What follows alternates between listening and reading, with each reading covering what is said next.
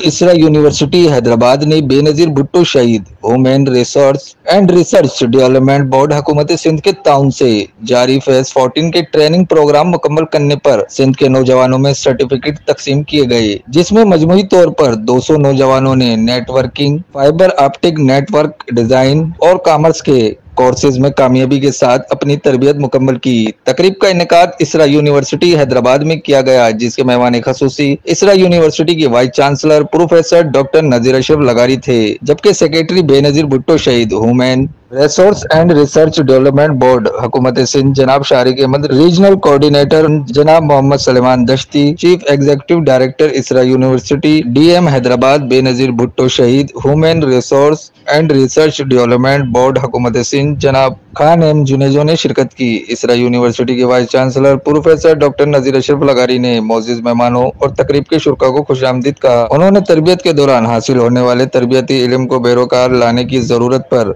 ज़ोर दिया। उन्होंने कामयाब नौजवानों को अपनी चार माह की तरबियत मुकम्मल करने पर मुबारकबाद दी।